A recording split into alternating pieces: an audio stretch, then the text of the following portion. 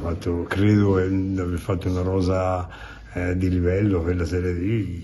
eh, ripeto, con individualità notevoli. Ora però eh, questo non basta perché, come tutti sappiamo, questo è un gioco collettivo, non si vince l'individualità, anche l'individualità, ma se non diventiamo squadra eh, non ce la facciamo. Eh, tutto sta mm, a, a, vedere, a essere bravi di diventarlo il prima possibile. Sono stato contento anche di,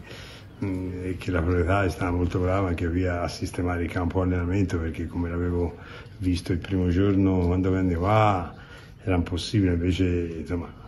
la, la proprietà è stata brava a, a sistemarla, anche queste cose fanno piacere, ecco perché chiedi una cosa no, e dopo un po' di giorni la ottieni significa che si parte bene. È chiaro che abbiamo fatto di un certo direttore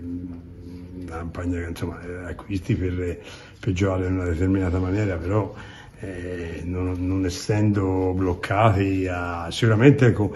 eh, la linea difensiva un 4 sicuramente, poi però 3-3 oppure non so, un attaccante in più, un centrocampista in meno, però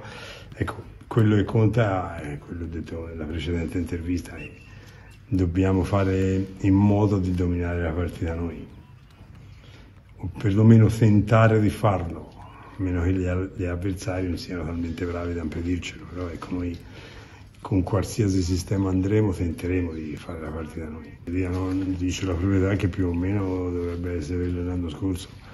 Io mi aspetto quello, ecco, sarebbe una sorpresa quello che, che sta ipotizzato sull'organista po' questi giorni di andare. Io non, non ricordo ecco, che in D squadre toscane siano andate nelle Marche o, o, in, o in Romagna mi ricordo squadre di che hanno fatto la dorsale Emilia su Veneto, ma nelle Marche